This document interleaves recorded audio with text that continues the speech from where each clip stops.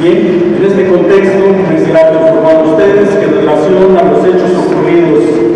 el día de ayer, lunes 7 de noviembre, del municipio de Arcella,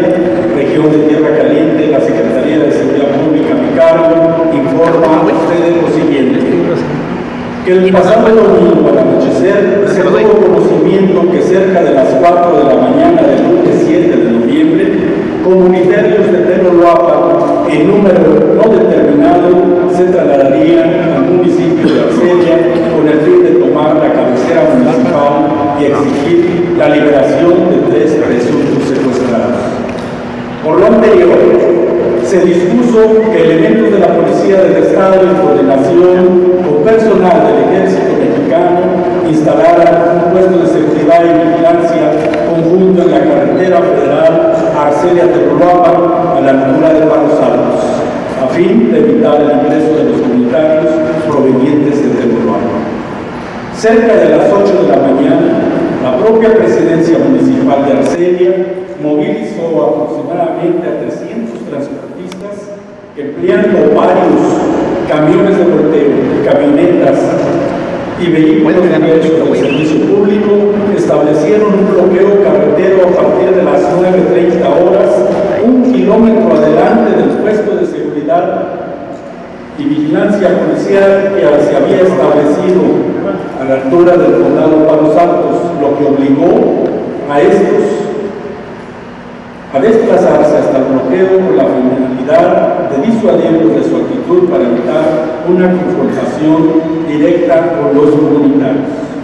Alrededor de las 10 de la mañana se confirmó la salida de aproximadamente 500 comunitarios de Teloloapa, Cuetzal del Y Apaxtra rumbo a Arcelia a bordo de 29 camionetas,